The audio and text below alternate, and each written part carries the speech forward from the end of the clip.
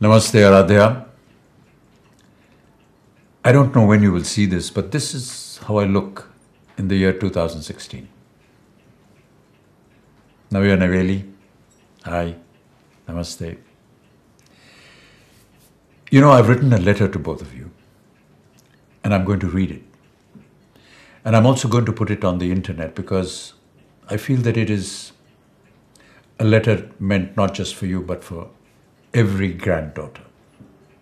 Okay? Here's the letter. My very dearest Navya and Aaradhya,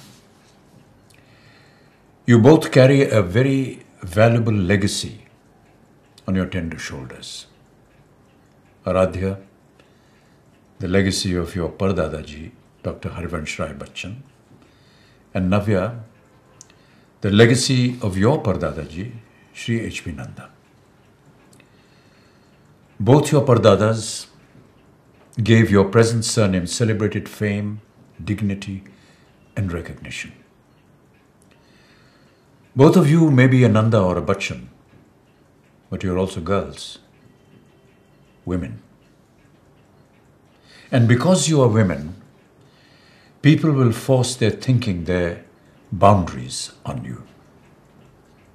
They will tell you how to dress, how to behave, who you can meet, and where you can go. Don't live in the shadows of people's judgment. Make your choices in the light of your own wisdom. Don't let anyone make you believe that the length of your skirt is a measure of your character.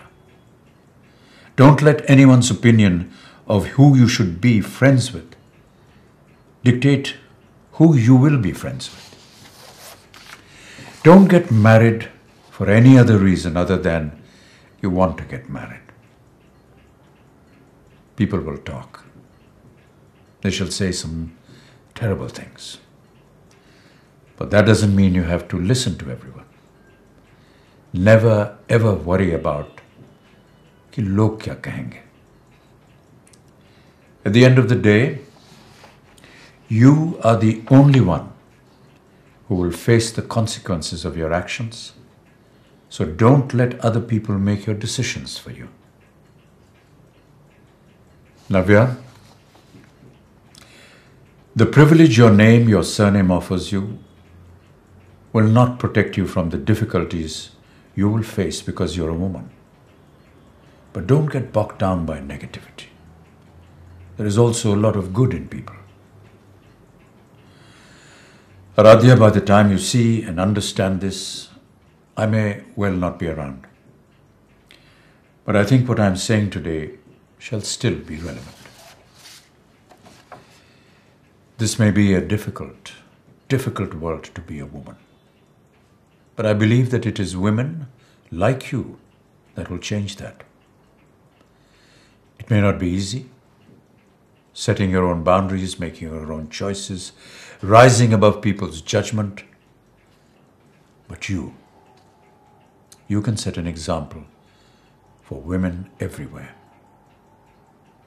Do this, and you would have done more than I have ever done. And it will be my honor to be known not as Amitabh Bachchan, but as your grandfather. With all my love, your Dadaji and your Nana.